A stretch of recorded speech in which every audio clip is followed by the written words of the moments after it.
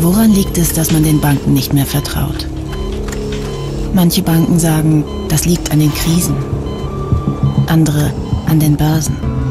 Wir schlagen Schaum. Wir haben etwas getan, was für uns bisher vielleicht nicht typisch war. Wir haben die Gründe bei uns gesucht und uns gefragt, braucht Deutschland noch eine Bank, die einfach so weitermacht? Wir seifen ein. Oder brauchen wir eine Bank, die endlich Schluss macht mit neuen Spekulationen auf Grundnahrungsmittel? Wir waschen unsere Hände wieder ein. Eine Bank, die erneuerbare Energien für die Zukunft finanziert. Eine Bank, die auch kleinen und mittleren Unternehmen Kredite gibt. Wir waschen unsere Hände wieder ein.